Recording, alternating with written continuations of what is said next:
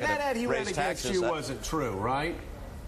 Well, I think it was not accurate for him to continue to say that uh, that I was uh, in favor of a specific date for troop withdrawal. and it's not really And- and accurate I to made- say that Barack made- Obama wants five-year-olds to learn about sex before reading. That's not true either, is it? Which well, is the, the specific bill Yeah. that he, the specific bill which uh, Barack Obama voted for, calls for sex education beginning as low as the, the uh, kindergarten, and it includes in that bill language which says that the uh, that each class is to learn about sexually transmitted diseases. In my in my opinion, and John and I, John McCain and I share the same view. Uh, the only sex education that's appropriate in kindergarten is no sex education.